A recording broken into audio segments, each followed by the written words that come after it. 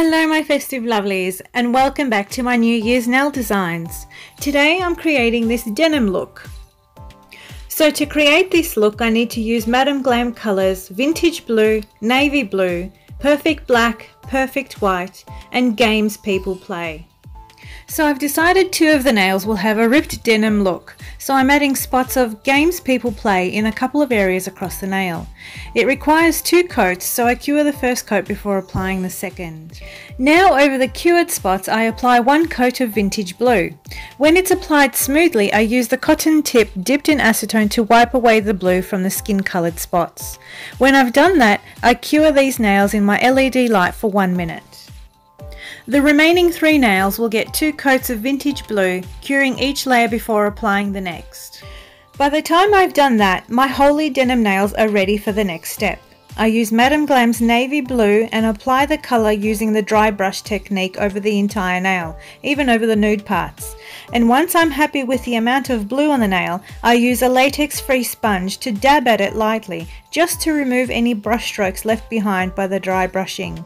It's only a light dab because I don't want to totally blend the colour, I only want to take away the sharpness. Then I use a tip dipped in acetone to clean up the nude holes before curing it again in my light for one minute.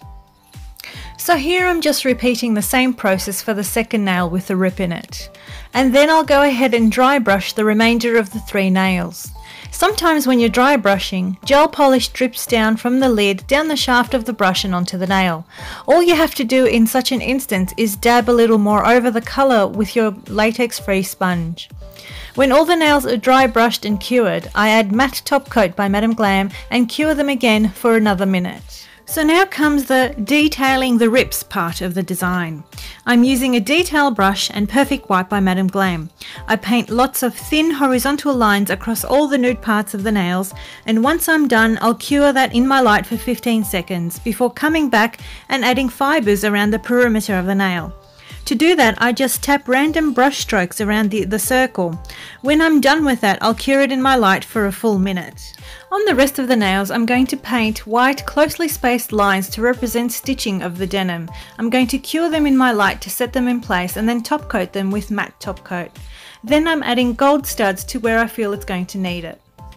And here's the finished design. Be sure to let me know down in the comments if you like this set.